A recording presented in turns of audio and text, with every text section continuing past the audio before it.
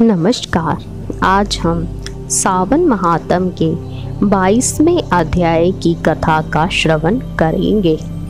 ईश्वर ने कहा, हे मुनिस्तम सावन शुक्ल पक्ष चतुर्थी के रोज सर्व काम फलप्रद संकट हरण देव देव किस विधि से व्रत तथा पूजा करें, कब उद्यापन करें, यह सब मुझे सविस्तार कहें।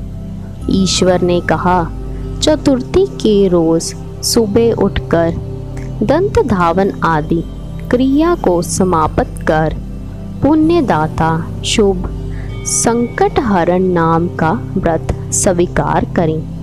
हे देवेश, आज मैं चंद्र उदय तक निराहार रहूँगा। आपकी पूजा कर भोजन करूँगा। मेरे संकट को आप हटावें।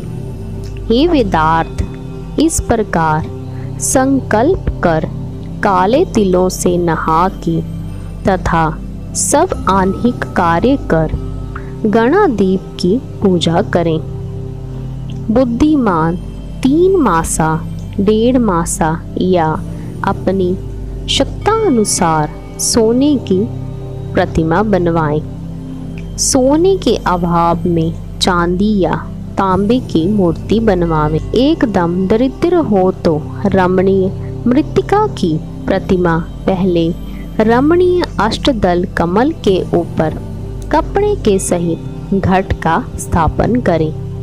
जल से भरकर उस पर पूर्ण मात्र तथा प्रतिमा रखकर सोलह उपचार द्वारा वैदिक या तांत्रिक मंत्रों से पूजा करें। हे विप्र तिल युक्त श्रेष्ठ दस लड्डू बनावें। उनमें से पाँच गणादीप के लिए दें। भक्ति द्वारा देवता की तरह उस ब्राह्मण की पूजा करें। यथाशक्ति दक्षिणा देकर प्रार्थना करें।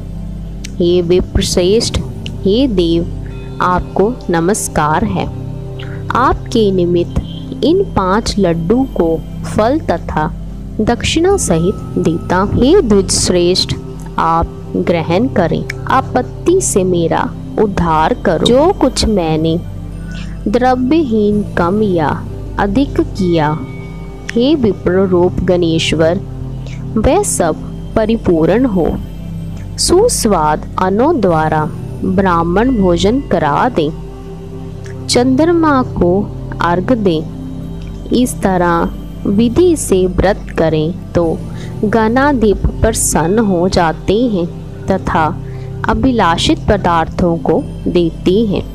इस प्रकार सावन महात्म के बाईसवें अध्याय की कथा समाप्त होती है।